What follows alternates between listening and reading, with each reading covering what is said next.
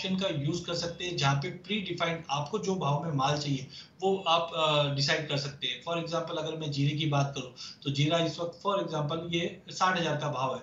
आपको लगता है मुझे जीरे का प्रोक्योरमेंट करना है बट साठ पे नहीं, मुझे पचपन हज़ार पे करना है या छप्पन हज़ार पे करना है तो आप यहाँ पे पचपन हज़ार का पुट भेज सकते हैं। तो अगर भाव नीचे आएगा तो ही आपको डिलीवरी मिलेगी।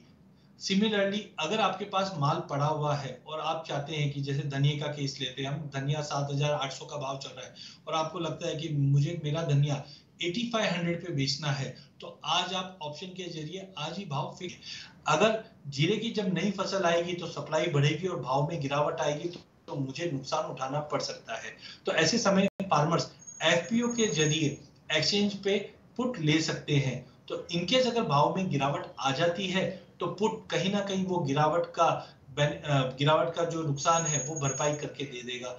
इनकेस मार्केट में अगर तेज़ी आ जाती है तो ऊँचे भाव पे आप अपनी फ़सल बेच सकते हैं। तो कहने का मतलब है, विश्वनाथ जी, चाहे बीसीपी के अंदर, चाहे फार्मर हो, चाहे स्टॉकिस्ट हो, चाहे ट्रेडर हो, चाहे इंपोर्टर हो एक्सपोर्टर हो, सभी के लिए ऑप्शन के ज़रिए हम कुछ ना कुछ स्ट्रेटजी बना सकते हैं, जो उनके बिज़नेस में बेनिफिट प्रोक्योरमेंट के लिए या अपना स्टॉक ऑफलोड करने के लिए काम में यूज़ करते। हैं जब भी आप ऑप्शन बेचते हैं तो it is as good as future जैसे हम फ्यूचर में ट्रेड करते हैं तो हमें मार्जिन रिक्वायरमेंट आता है।